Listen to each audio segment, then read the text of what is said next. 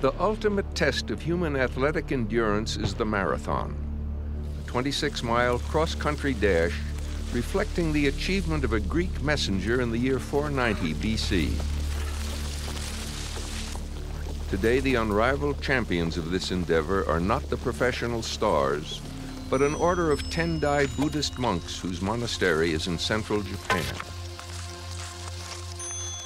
They are the marathon monks of Mount Hiei.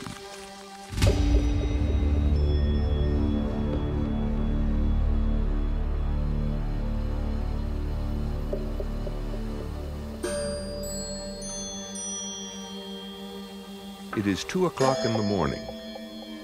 Moving at a steady, determined pace, Tanno Kakudo starts his 22-mile marathon on Mount Hiei.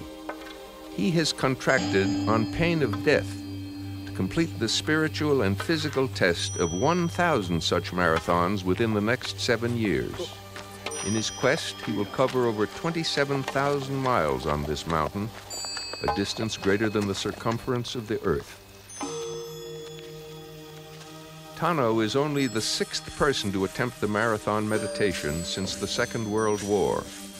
But the prize he seeks is not a pot of gold or a few fleeting moments of glory. Rather, he seeks enlightenment, enlightenment in the here and now. And if successful, he will become a living Buddha, a modern day saint. The marathon is a pilgrimage to the 270 sacred sites on Mount Hiei. Here the monk isolates himself, aiming to live every day as if it were his last.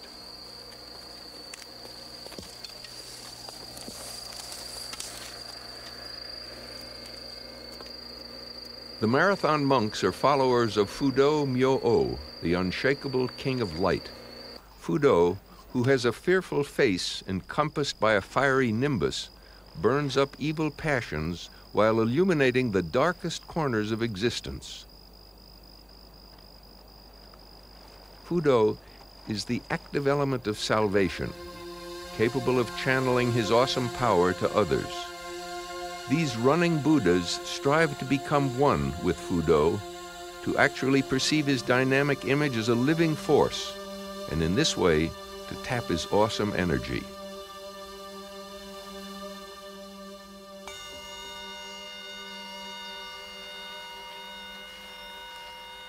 Buddhists believe that the root of all evil and suffering is the self, or ego. Only by meditation can we realize the illusory nature of our self and reach beyond it to discover our divine being, the Buddha within. Meditation can take many forms.